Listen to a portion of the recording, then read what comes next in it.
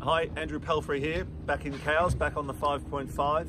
Uh, today I just wanted to uh, concentrate a little more on the jib sheeting system that we have on this boat. Um, and you know, we have a pretty um, clean um, sheet of paper when we design the deck layout here.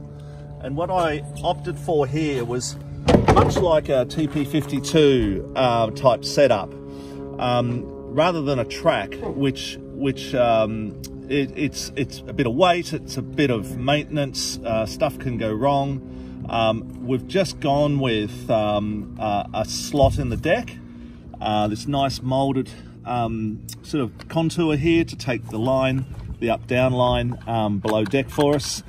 Uh, and uh, basically we've got anything from uh, like five degrees to about nine degrees of sheeting angle here.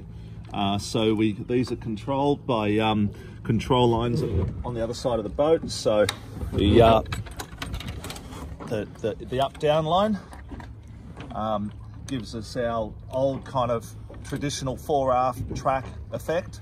Um, further down it is, it, it's it's it's making the sheeting angle steeper and then as it gets let off it's making the sheeting angle flatter um, so just like cars forward and back in the good old days.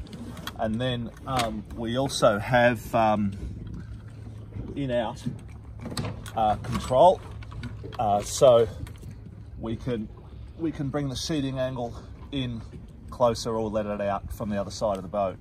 Uh, and we'd use this, um, we, we may even trim it actively if it's puffy on the upwind when the, the main traveller is um, working up and down. Um, but more likely it's it's a little more of a set and forget based on the wind strength. Uh, the, he the heavier the wind, the more we'll be outboard. And also if we want to mode fast forward tactically through the race, we'll, um, we, we would uh, go further outboard. And then finally, um, sometimes, yep, we do uh, overlay the mark um, or across the, um, the spreader leg at the top of the course, we'll let it out as well.